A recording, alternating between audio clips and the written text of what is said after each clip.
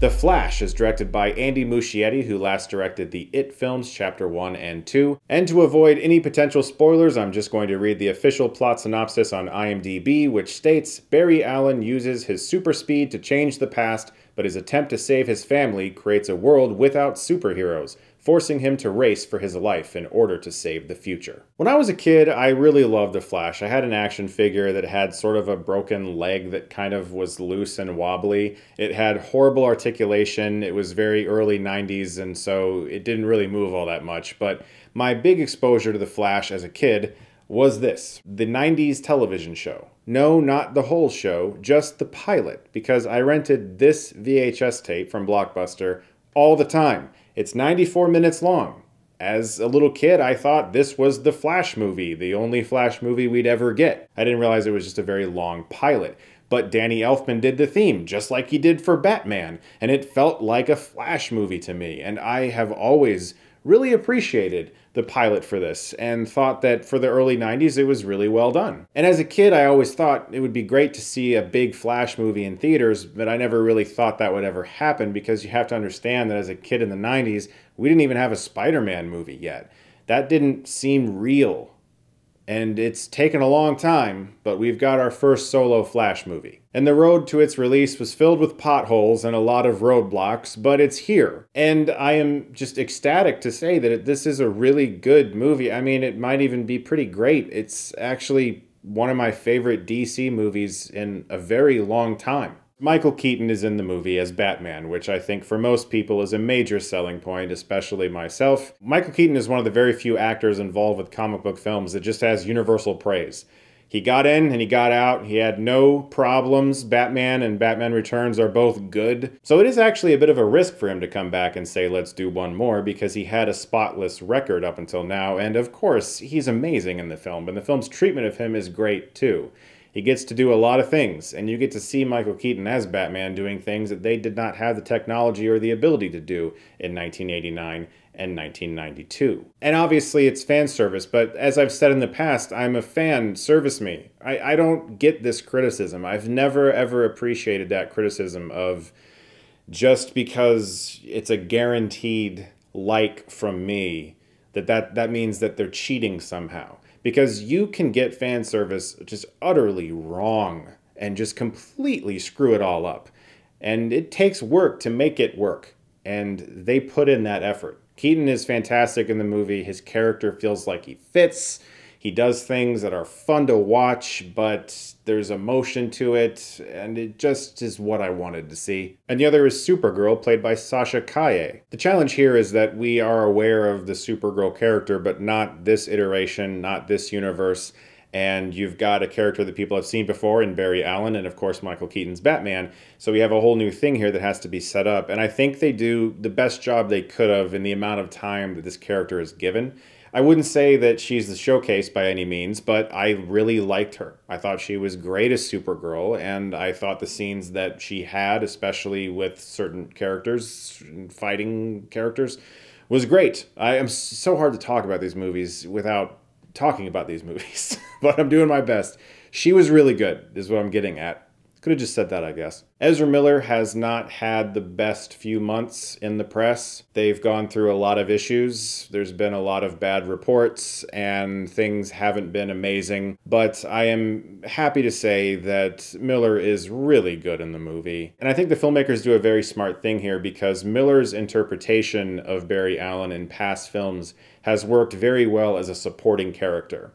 This is a very jokey character doesn't take a lot of things very seriously. And to put that person in a whole movie and have everyone constantly follow them the whole time could potentially be a little annoying. So they've paired Barry Allen with an even more annoying Barry Allen and forced our Barry Allen that we've been following to recognize how annoying the other one is. That's a really smart way of making this character that has been very joke heavy in the past get a little more grounded and down to earth, have to witness the other version being like how many people may have seen them before. And that leads me to the humor. This movie is very, very funny. Miller is hilarious in the film, and they do a very good job with the dramatic stuff too, but there are a surprising amount of jokes here, And I have been on the fence about jokey superheroes lately. I think some of the MCU films have taken it a bit overboard, and humor has begun to trivialize things that may have been serious or should have been taken seriously, and the impact has been lost as a result. Here, I think it's just about a perfect balance. Things that are funny are things that are legitimately funny and the film doesn't look at its serious subject matters or its comic book characters and and look down upon them. In fact it embraces them. But the film understands how some things could be funny if viewed through a certain lens. But it knows when to pull back on that humor and get serious. I think it's the perfect balance of it. And andy muschietti is such an imaginative director. His camera work is stunning.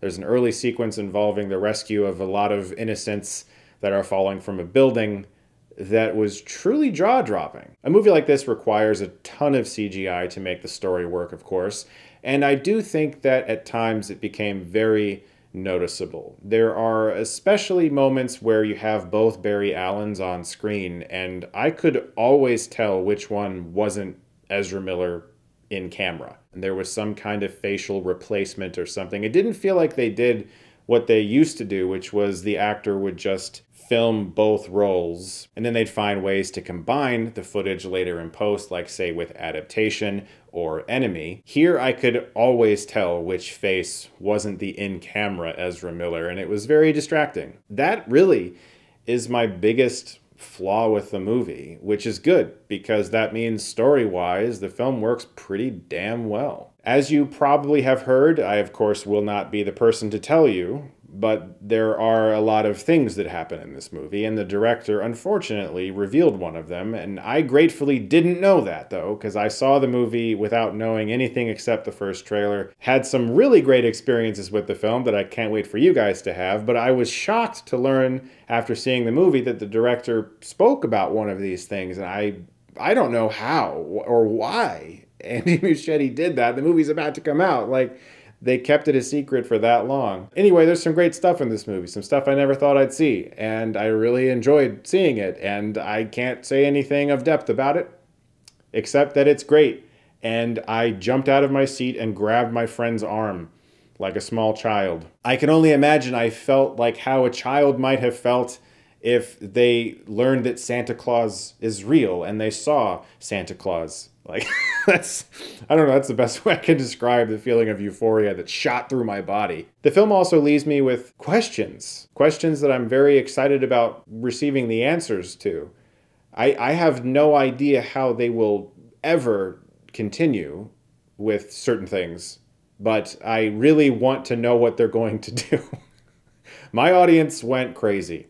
That's all I'll say for the final few minutes of this film it was like a volcanic eruption. So yeah, I mean honestly this movie worked wonderfully except for some of the CGI it was very noticeable to me and I feel like there's a lot of things that maybe could have used a few more months and polish but VFX workers are historically overworked and undervalued and so I can assume that's probably a contributing factor.